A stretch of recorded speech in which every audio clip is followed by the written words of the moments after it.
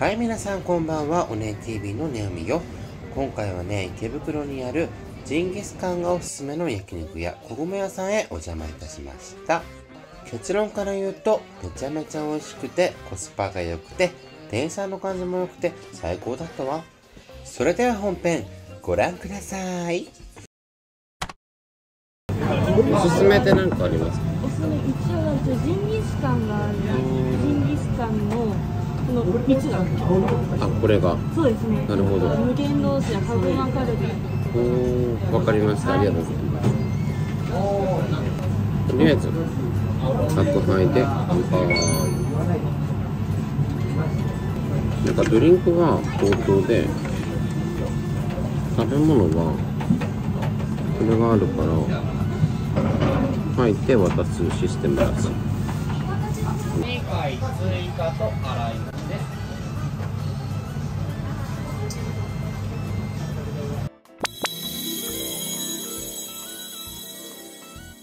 こちらが朝どれのレバネギ。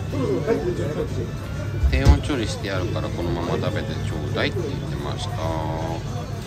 でこれがオリジナルのキャベツガレッツとかのなんかにお肉にのせて食べてって言って。でこれが無限ハラミと。でこれがジンギスカンの塩。ではいただきますできれば。うん。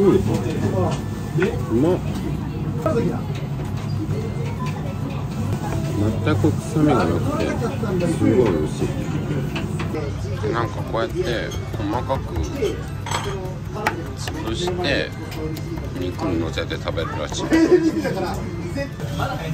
の鉄板に牛脂を引いてハラミはなんか炙両面炙るぐらいって言ったんで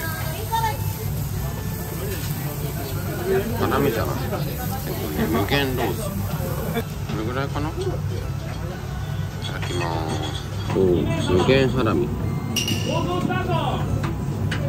うん。美味しい。続いてこのラム。いってきます。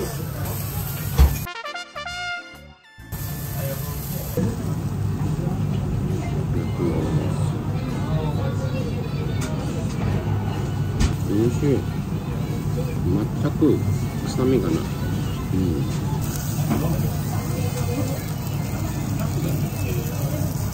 ん。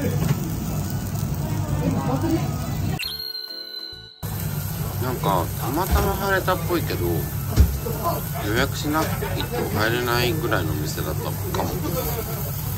そんな私はラッキー。じゃあ追加オーダーしたハラミの塩。ジンギスカンの味噌。ハラミちゃん。ハラミから入れてく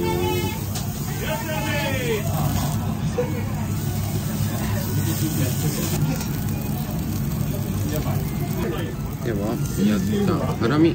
まずこのままこのまま食べよう。うまっ。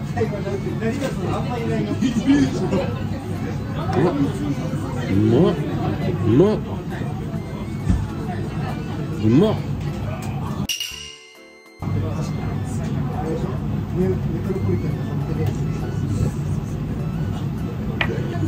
大事なことなんでもう一回言いますけどめちゃくちゃ美味しい。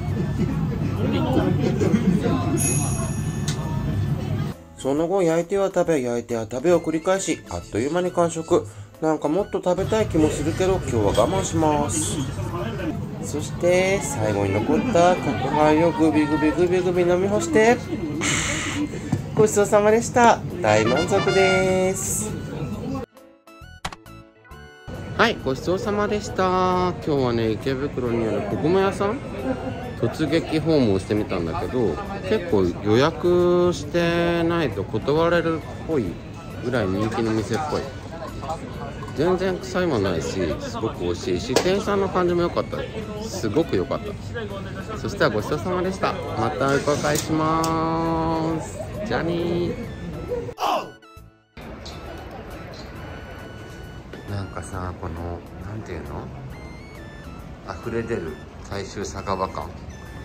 大好き。大都会。生が2杯で600円。3杯で800円。4杯で1100円。角杯なんて3杯で600円だからね。まあ頼めば頼むほど最初に安くなるシステムかな。おつまみも見ての通り結構安かったです。